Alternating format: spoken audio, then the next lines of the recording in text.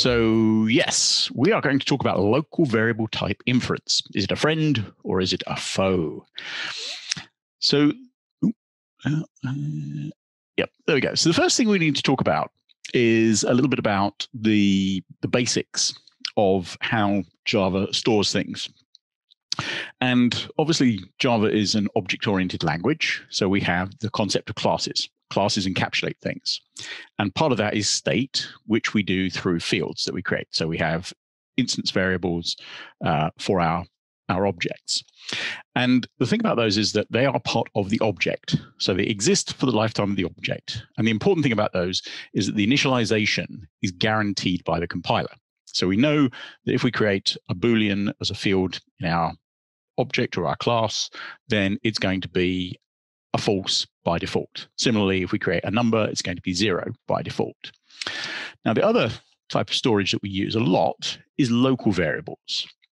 So this is where rather than being part of the class itself and, and part of the object when we instantiate it, these are local variables which are scoped to certain areas of our code, certain regions of our code. And that scope can extend depending on how we want it to, to work. So we could have the scope of a method, we could have a scope of a, a statement because we could put it inside braces, or we could have the scope of a block. Again, if we want to to separate out things, we can put them within braces and, and that will enable us to, to specify how long we want that variable to be accessible. Now, the important thing about these is that initialization is not guaranteed because they tend to be allocated on the stack.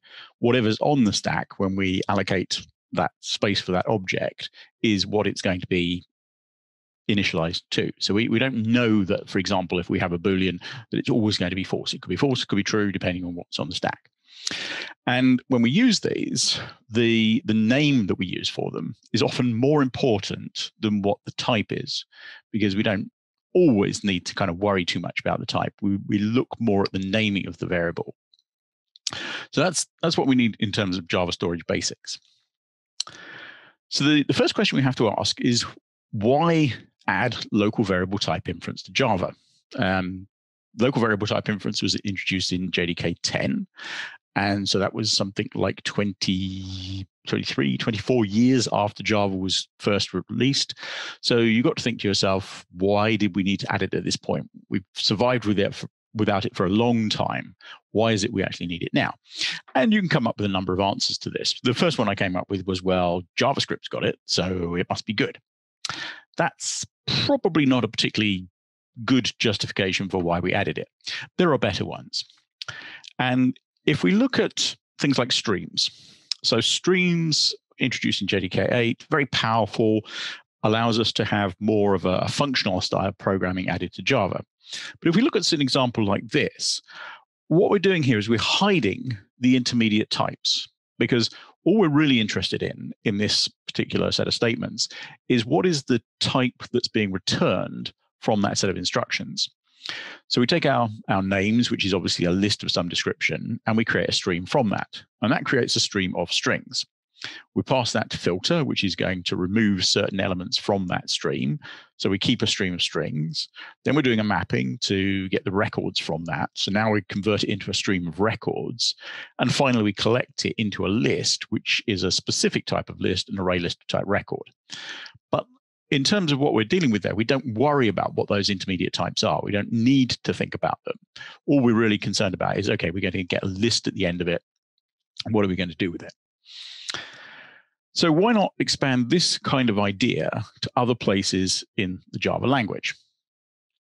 And what we do is we use var as a new way of saying, okay, let's rather than specifying the type of a local variable, let's use var and let's let the compiler figure out for us what the type is.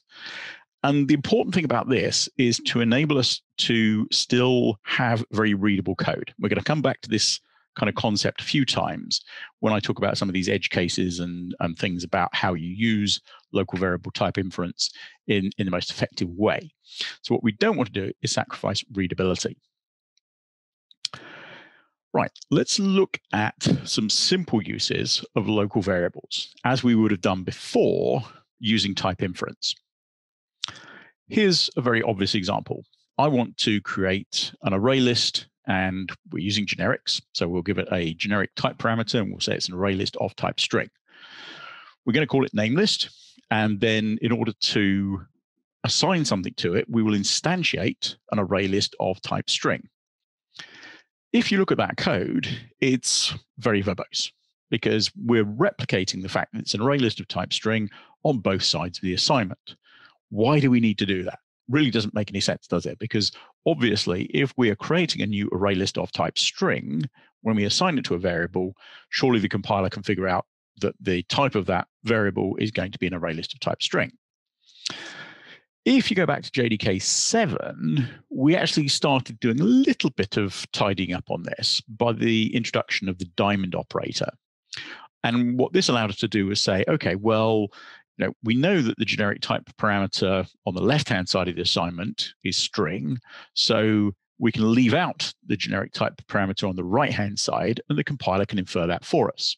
So we'll just say array list, diamond operator, and then instantiate that. And then the compiler figures out for us that the generic type parameter is string because on the left-hand side, we're saying it's a list of type string. So at least that's a start, but it's not going quite far enough. We can use other instances of local variables. So if we take our user list and we extract a stream from that, then obviously the variable that we're going to assign it to is going to be a stream of type string. And in this case, it's not quite so obvious because you know we we have the fact we've got a user list there rather than the type that we're instantiating. We're retrieving it from the the user list. And then we have other instances where we might use a for loop and we use the more modern for each syntax. So we do for string name over user list and it will iterate over user list and return the elements of it. And of course, the good old for loop, one we're all used to, for int i equals 10, i less than 10, i plus plus. Now, if we use local variable type inference, we can replace all of those statements in a slightly different way. So the first thing we can do here is we can say var user list equals new array list of type string. The compiler at this point can infer for us that user list is going to be an array list of type string. So we don't need to specify a second time on the left-hand side, left-hand side of the assignment. We just let the compiler figure that out for us. Similarly, if we want to retrieve the stream from that user list, the compiler can figure out easily enough that since user list is an array list of type string, then the stream that we get from that is going to be a stream of type string we can replace the explicit type in our for loop. And so we could say for var name over user list. User list is an array list of type string. So the compiler can easily infer for us that name is going to be a string. And then lastly, if we wanted to, we could replace the int in our traditional for loop with var and say for var i equals zero, i less than 10, i plus plus. This is one of those examples where I would say to you, do not do this. And the reason I say that is because var has three letters. int has three letters. There is nothing to be saved by replacing int with var in this particular example. So I would never do this because all you're doing is making it slightly more harder to understand what's actually going on in that code. If you put int explicitly, it's obvious that that's an int. If you put var, you might think, oh, does it actually infer an int or does it infer something else? So don't use var in that particular instance. Another good use of var is sort of tidying up your code and making it easier to read. And here's a good example. So try with resources. And in this, I've been deliberate in terms of making it quite verbose and using variable names which are repetitions of the types as well. But we end up with some very dense code. And if you look at that and just try and figure out what's going on. You've got to look quite carefully to understand that we're actually creating three different variables there. We've got an input stream, then we've got an input stream reader, and then we've got a buffered reader because there's lots of repetition of all of those things. You know, we've got input stream, input stream, input stream reader equals new input stream reader, and then buffered reader, buffered reader equals new buffered reader, and so on. Very, very dense and not easy to look at and see exactly what's going on straight away. If we use var in this particular instance, we can tidy things up. So now we can kind of align things more nicely. We can avoid some of the line wrapping that we had. And we can say, okay, var input stream, var input stream reader, var buffered reader. And you can look at that and see, ah, okay, we're getting our buffered reader from the two types that we've got, two variables we've got above that. And it's all just a little bit easier to read. So this is a good example of where we want to use var. Okay, so let's dig into some of the details of VAR and look at how it works in a bit more detail and some of the things you need to be aware of when you want to use it. So the first of these things is that unlike in JavaScript, this means that Java is still very much statically typed. If I do something like this, where I say var name equals Simon, the compiler is going to infer very logically that name is a string.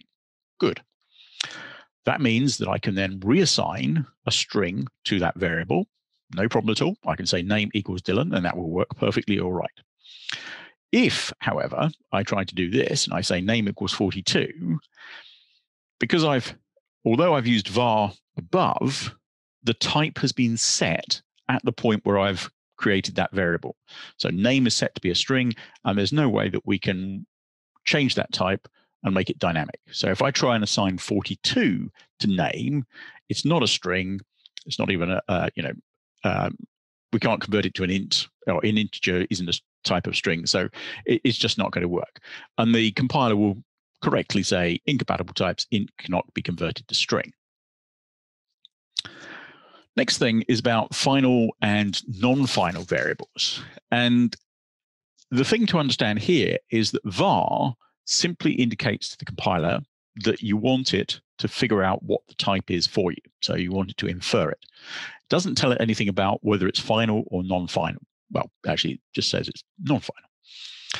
So var, as we've already seen, we can say var name equals Simon, and then we can change that, say name equals Dylan.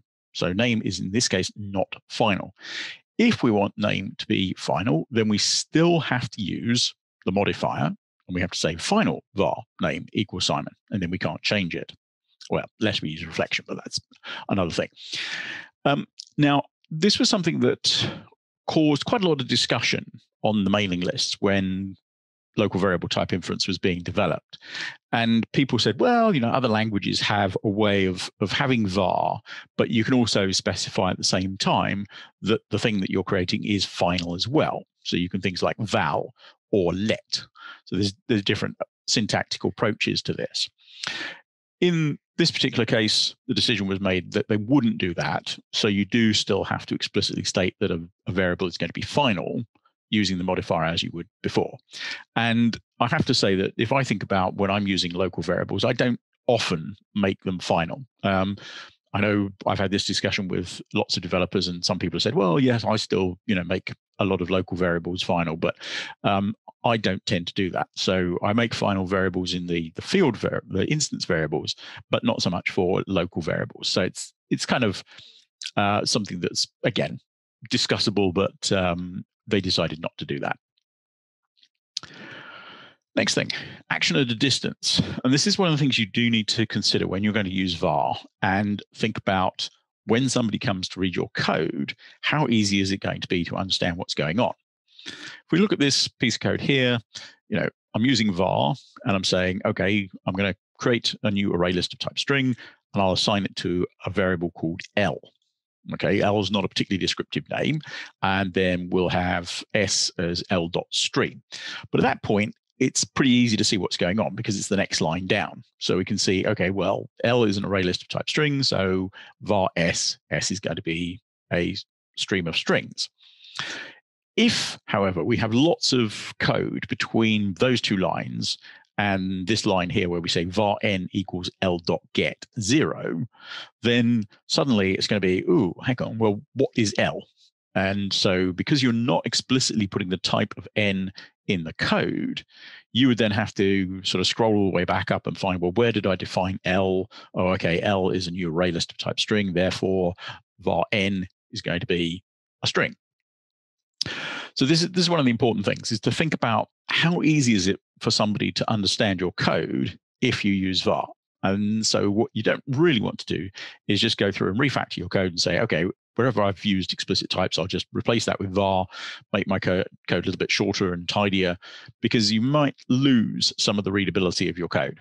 Um, obviously, in this example, you could solve part of that problem by making your variable names much more sort of explicit and saying, okay, L is list of names or something. And so it would be obvious then if you got n equals list of names dot get zero, probably going to be a string.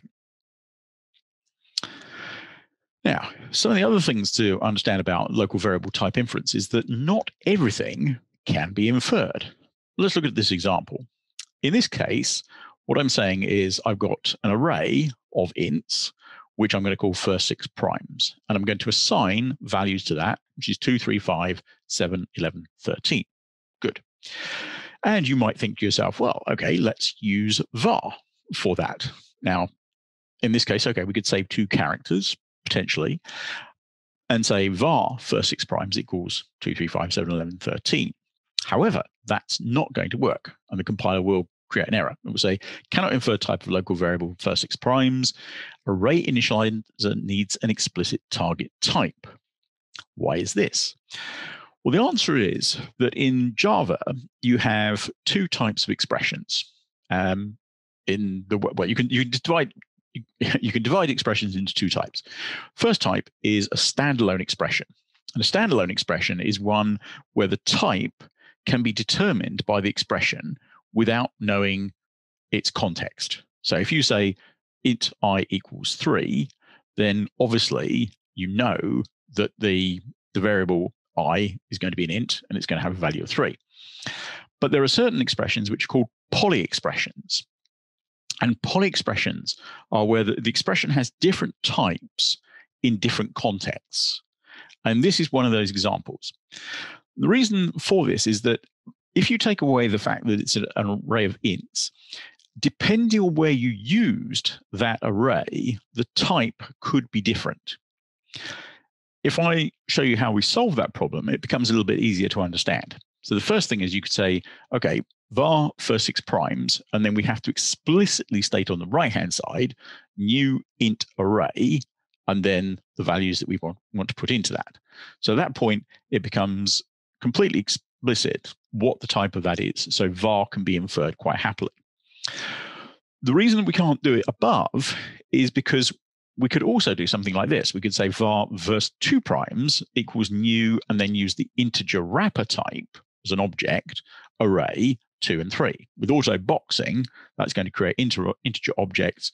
And so you can see that in the case of those two vars, they have different types. And depending on where you would use them and where they're they're actually defined here, then it's not clear if from above what the the type of first six primes would be because it could be an int array or it could be an integer array or it could be an object array. So it's not clear and the compiler will therefore reject it. Types are required on both sides. Again, okay, so let's look at this example. Here we got var list equals null. And you might think, okay, that should work, shouldn't it? Um, well, no, it won't. And what you'll get here is variable initializer is null. A lot of people would look at that, and I know I certainly looked at that when I first uh, took this example, and think to yourself, well, hang on, well, if the compiler is trying to infer the type, a null, okay, well, you know, we know that in Java we have a type hierarchy, and we know that the top of that type hierarchy, everything inherits from object.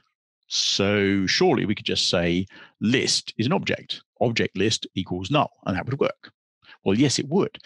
But the tricky bit here is understanding that in terms of the Java type hierarchy, object is at the top.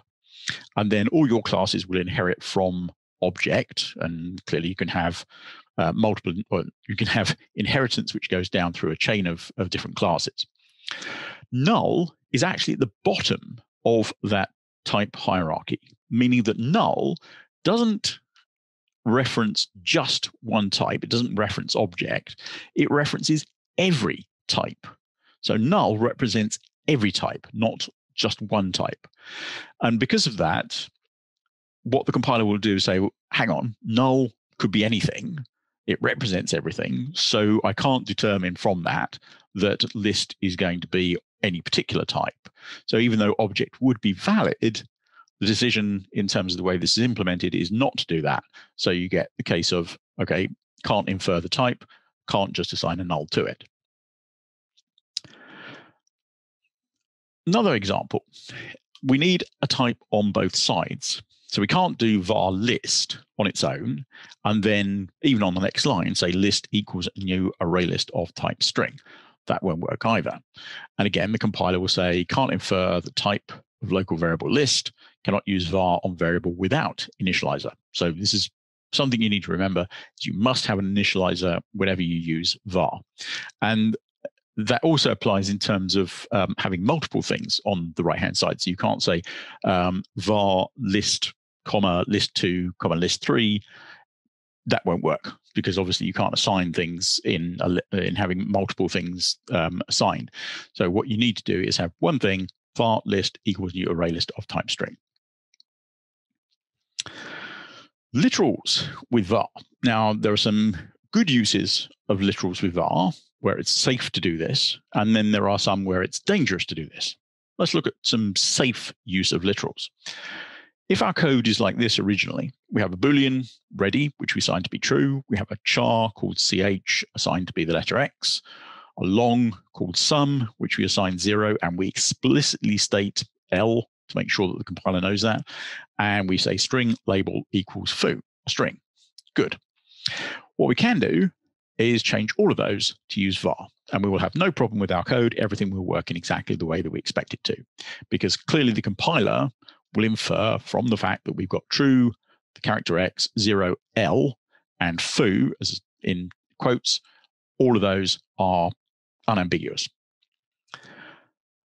Let's look at some literals which are dangerous let's say we have three numeric values. In this case, we're going to have byte called flags, which will assign zero. We're going to have a short called mask, which will use uh, our octal number, uh, sorry, hexadecimal number as 0x7fff, and we'll have long base equals 10. Now, if you were to use these variables, and let's say you wanted to send some information across a network or you were storing it into a file to be read by some other application, and let's say that you're depending on the size of those values when you read them somewhere else. So you know that you've got one byte followed by two bytes followed by eight bytes.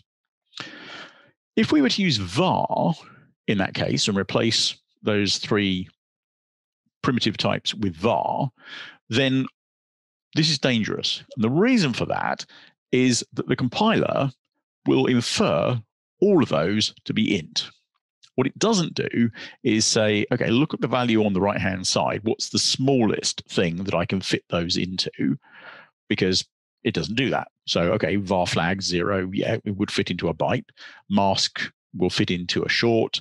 Uh, base would actually fit into an int. So there's no way unless you had the L explicitly with the, the value to indicate that it's a long.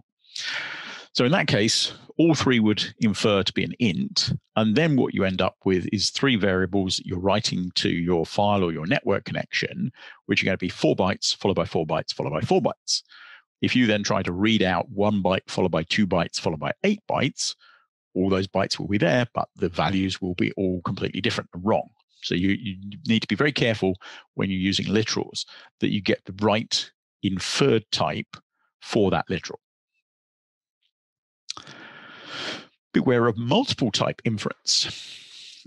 If we have a situation like this, where we use the diamond operator, so priority queue of type integer, item queue is a new priority queue, and we use the diamond operator so that the compiler will infer for us that that priority queue is type integer.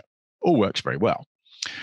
Problem is, if we go through and we refactor our code and we just look at the left hand side there and we say, okay, let's just replace priority queue of type integer with var, and we get that. That's problematic because what's going to happen here is we're going to have double type inference. And the first type inference that's going to happen is that the compiler is going to look at the fact we're using the diamond operator and it's going to say, okay, we need to infer the generic type from the left hand side. Oh, we're using var So at that point, the compiler is going to infer that the type of that is from the left hand side, but the only thing in that case that it can infer is going to be object. Then we're going to have type inference on the left hand side, which will say what's the type of item queue, and we end up with an item queue, sorry, a priority queue of type object. Personally, I think this was a bad decision in terms of the design of this feature because I would at least like to see the compiler issue a warning at that point to say, you've used the diamond operator. Did you really want to do that? Because it's going to infer object. Realistically, it should you know, produce a compiler error saying can't infer the type on the left-hand side because we don't know the type of the generic parameter. So you need to state that explicitly. Because in terms of your code, you might run into some you know difficult to find bugs because suddenly your priority queue, which was of type integer, is now of type object. And when you try to store something that's you know um, into that, it's not going to work in the way you expect it to. Especially when you read things out, and you've got an object rather than an integer. You can't call the methods on that that you would expect to be able to call, and you get a, a um, uh, incorrect, or you'll get a, an error because it's trying to call methods on the wrong type programming to an interface. It's very common in Java to use interfaces rather than the concrete types. And by that, what I mean is we say, okay, I want to create a list, but rather than saying it's an array list explicitly, what we do is we say list of type string, my list equals new array list. And because array list implements the list interface using polymorphism, we can view our array list as anything which is any of the interfaces that are implemented by that or the any of the super types. So in this case, we can legitimately say this is a list of type string and we can view it in that way. And we pass it around in places where we need to list. If we use var, var is always going to infer the concrete type. If we say var my list equals new array list of type string, then what we'll end up with is my list being an array list of type string. But of course, array list of type string is still a list of type string. So the important thing to understand is that polymorphism still works in this situation. So array list is still array list of type string is still a list. And so if you want to pass that to as a parameter to another method as a list, it will work quite happily. So the some people get a bit hung up about this and they go, oh no, this this this is going to break things, you know, because surely by treating my list as an array list of type string, whereas I want it to be a list of type string, that that will break things. The only thing that you would be able to do that's different if you use the the first line there and say it's a list of type string versus using var my list is that you would be able to call more explicit methods on my list because you could call the methods of array list which you couldn't call on my list in the first example. But if you're refactoring your code, then that's never going to happen because you're treating it as a list anyway. So you're only calling the methods of list rather than the methods of array list. So in this case, programming interface, not a problem. You can still use my list wherever a list is required. So there's no problem with doing that. Lambdas and var. Okay, so we can assign a lambda to a variable because a lambda is simply a representation of a functional interface. Functional interface has a single abstract method, and our lambda expression is the implementation of that single abstract method. In this case, we've got predicate of string, call it blank line, and then our lambda expression says that what we want to do is take a, a string and return is that string blank. So that will implement the, the method in predicate, which um, I can't remember what it is, test, I think it is, um, which takes a, a string with generic type parameter and returns Boolean. So that will fit. That, that will work quite happily. We could then think, okay, maybe we should use var there. We'll use var blank line and use our lambda expression. But this is another example of where we've got a poly expression rather than a standalone expression. Because depending on where you use that lambda expression, this is actually a bit more easy to see um, if you think about it. Depending on where we use that lambda expression would dictate what type is required for that functional interface. So yes, we could expect the compiler legitimately to infer it's a predicate of type string.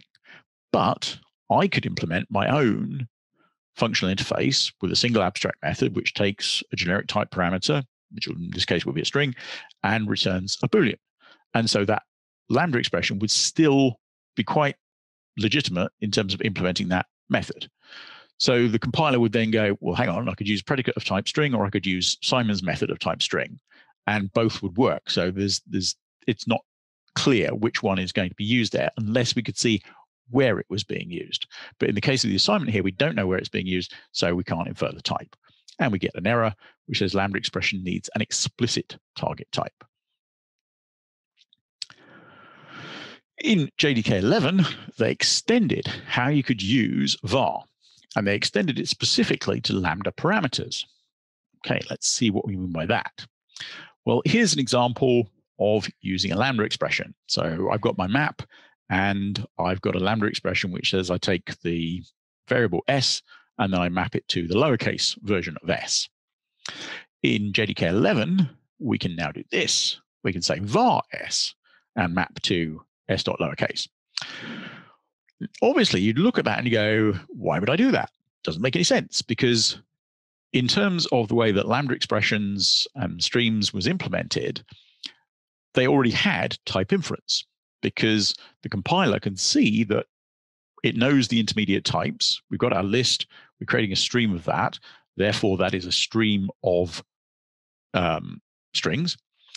So we're then passing that into map to map that string into lowercase. So the compiler is inferring, inferring that S is of type string. So why would we possibly bother adding var to that to tell it to infer the type? It already does that. Well, there is only one case where that actually makes any sense, and that's if we want to use an annotation. So if we want to use an annotation such as this, we can say not null var s map to lowercase.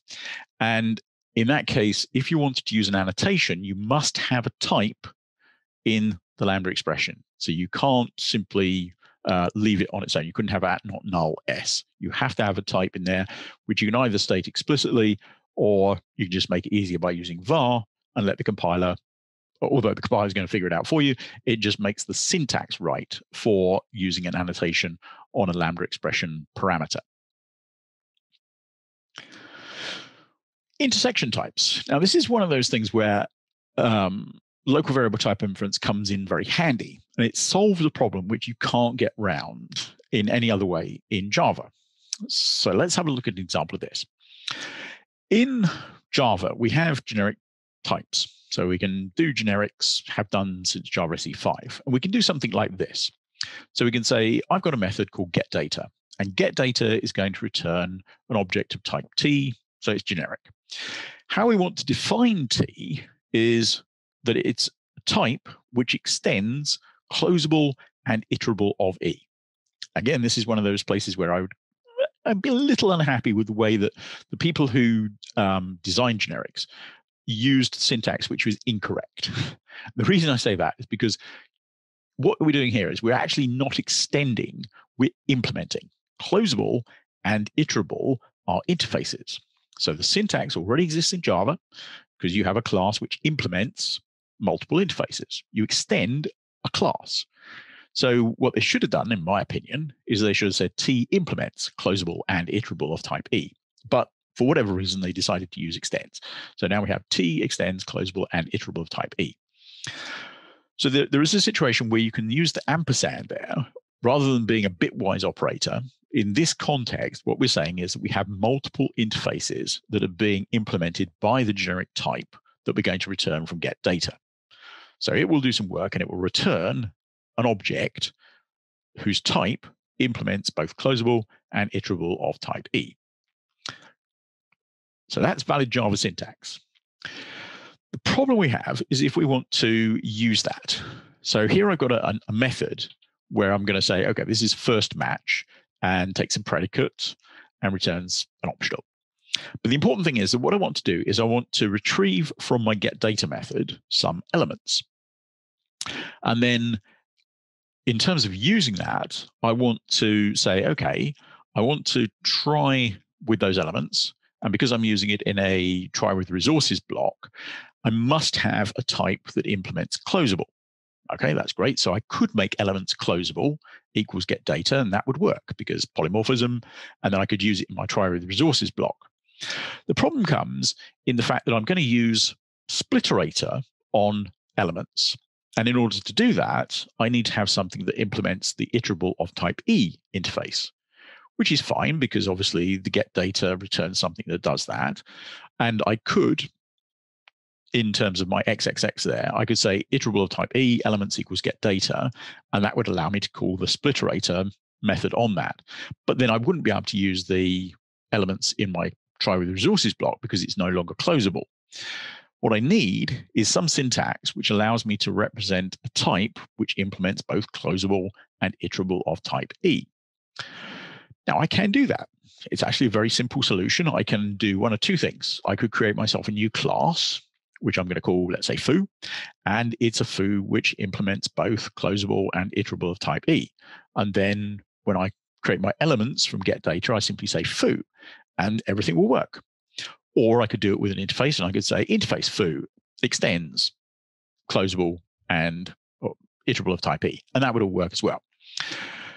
But that then introduces a certain element of type pollution.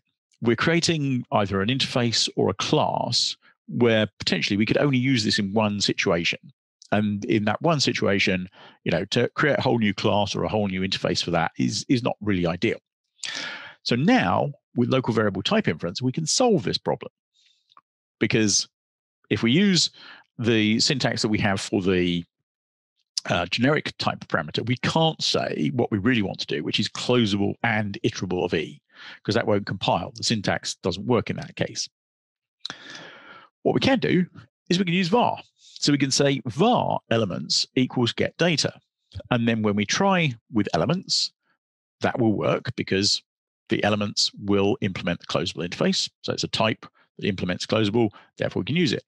When we try and call spliterator on elements, that will work because whatever is generated by the compiler will have the right type and it will implement the iterator of type E, iterable of type E, and so we can call spliterator on that.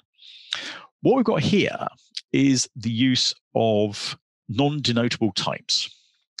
And how this works is that in Java, obviously we have the syntax of the Java language. We compile it into bytecodes, and that's run by the JVM. Now, the JVM can actually understand more types than you can represent in the Java language. This is a classic example that we have no way of representing both closable and iterable of type E, but we could represent that to the to the um, JVM through the compiler. So what the compiler does is it says, oh, okay, elements needs to be something which implements both those interfaces. And so it just generates something for us that the JVM understands. But we don't have to worry about that. So by using what's called a non-denotable type, we can solve the problem and our code will compile. Here's another example of using var. And in this case, we're going to use it with inner classes. This, is one of those situations where I look at this and I go, okay, this, this is this is valid code. It's not something I'd recommend.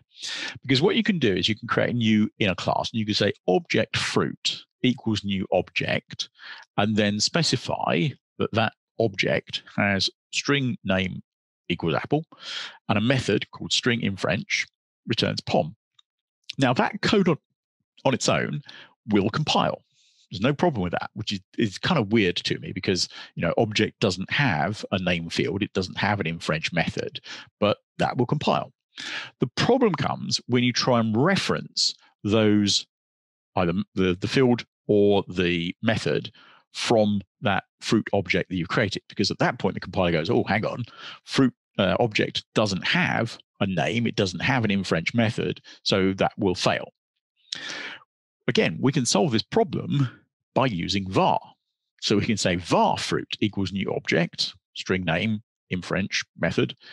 And again, the compiler will use a non-denotable type, something that can be represented to the JVM but not expressed in the Java language, create that type for us. And then when we call fruit.name or fruit.in French, it will work. as I said, this is like a, a, good example of not what not to do in Java code. I would never suggest writing something like this. It will work, but I don't recommend it. Okay, last thing to, to understand about var is it is a reserved type, not a reserved keyword. What does this mean? Okay, well, in JDK 9, you could have done something which you can't do in JDK 10. And specifically, you could have created a class called var with a lowercase v. In Java, you can create classes with lowercase variable names or a, a name that starts with a lowercase uh, letter. That's legitimate because the variable names only have to have letters in. They have to have letters in them, but you can you can certainly start one with a lowercase v. But obviously, you never would because the convention is to use an uppercase character for the name or the first letter of the name of a class. So in JDK 10, you no longer can do that. However, you can still create, as you would have done before, a class called var with an uppercase v. The implication of the fact that this is a reserved type, not a reserved keyword, is it means that it doesn't prevent you from using var as a variable name which is kind of good because I'm pretty sure that plenty of people have used var as a variable name in the past. And if we had made that a reserved word, then it would have broken a lot of backwards compatibility. The reality is, though, that what you can do, and again, I wouldn't suggest this, is you can actually do var var equals new var. So again, wouldn't recommend that, but you can do it. Uh, I tried it. Syntax works. The compiler is quite happy with that. Uh, okay, now what I've done is I've put sort of um, was for um, trying to to see if you understood what I've been talking about. Um, now I'm not quite sure how we're going to make this work because normally when I do these presentations, I can do it in front of an audience and I can see people put their hands up and ask a question and so on. Um, but we'll, we'll, just probably have to do this um, where I will tell you the answer and, and we'll sort of go through it. So let's say I've got a method called calc1, takes an int called mask, then has a long temp, which has got a value, and then we return a fairly complicated thing where we say we're going to left shift temp by six bits, we're going to OR it with temp, then we're going to AND it with the mask and return whether that is greater than zero or not. Now, the question is, should we use var for temp? So should we say var temp and then return temp um, left shifted six, order with temp, and it with mask. So actually, let, us see. So um, I don't know if we can do this. Let me just see if um, we can get somebody to answer the question: Why shouldn't you do that? Can I see? I'm not quite sure if I can see the. Um, let me. Let me just see. I stop sharing my screen for a moment. Okay, so somebody put something. If if yeah, try putting something in the chat. Uh, if you if you know why we shouldn't do that.